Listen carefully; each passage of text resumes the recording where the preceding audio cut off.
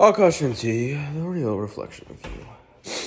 All right, so today I had this mini situation.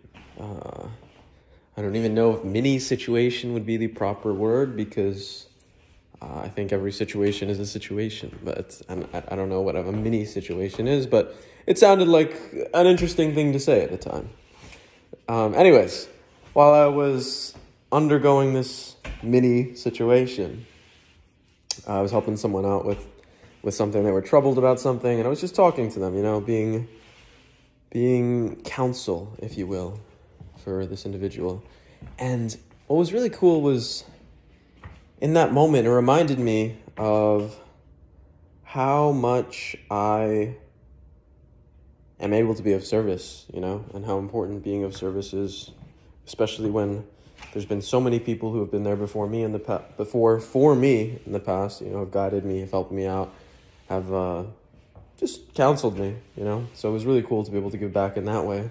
One, but then two, it's like all the things that I've learned. You just don't realize all the things that you learn until you need it in the moment that you need it. You know, all the different little I don't know the breathing exercises, maybe from yoga, or um, understanding that uh, just different things, understanding the mind, you know, how it's like, yeah, your mind might say something, but that doesn't mean that's uh, that's the truth of the matter, you know, or what have all these different things. It's um, it's helped me a lot in the sense of being able to pass them along, you know, to to others who have not been given those things yet, you know.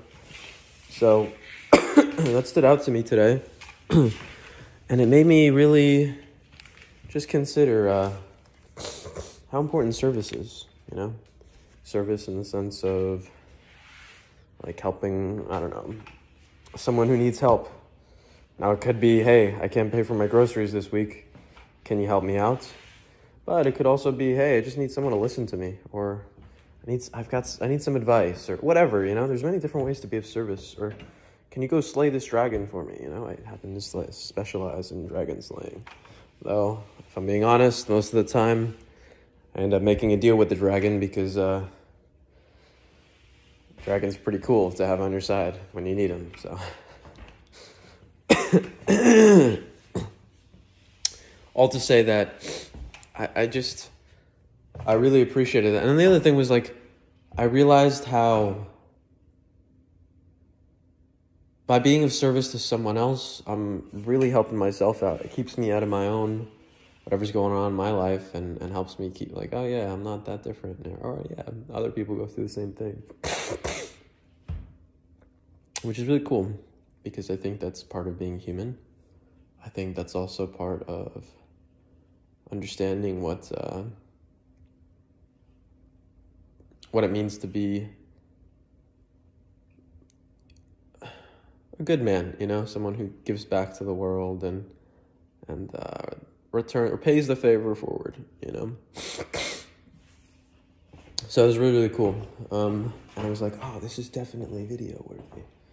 The other reason why is because well, maybe I haven't been doing a video for quite some time, and I'm sure some of you have been like, oh my gosh, did he die? And it's like, no, I didn't die. I'm still alive. I do make videos from time to time. Maybe not always, but from time to time.